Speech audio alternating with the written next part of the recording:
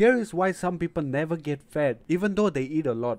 And many of you guys must be thinking that that's such a blessing. Well, say no more. I have finally understood the big secret behind it. It's no rocket science. But you will still be amazed to know how they exactly managed to do this. We all have that one friend that is like there's no tomorrow, but still managed to be lean and thin. For God knows how, right? You know, doesn't matter cheese loaded fries, double cheeseburger. They end up eating them all and gain no weight at all.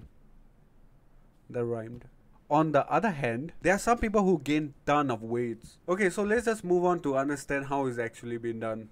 Number one, a physical approach. The way you think can make a lot of difference. To summarize this in a short manner, you have to look at how you approach your cravings. Sound confusing? Fear not, my friend. I'm here to explain. The two key things here are hunger and appetite. The fundamental difference between these two things are quite similar, yet different at sometimes. Hunger is physically you want to eat something because you know you have to eat something.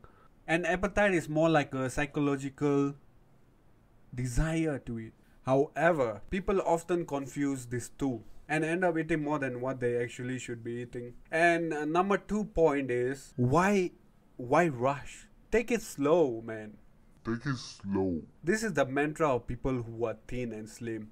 People who chew more while eating in a slower pace do not tend to gain much weight. And you guys might be thinking like how how is that possible, you know? When you eat slowly, your brain will signal your body that you are full sooner. This way you will eat less and you will still feel full.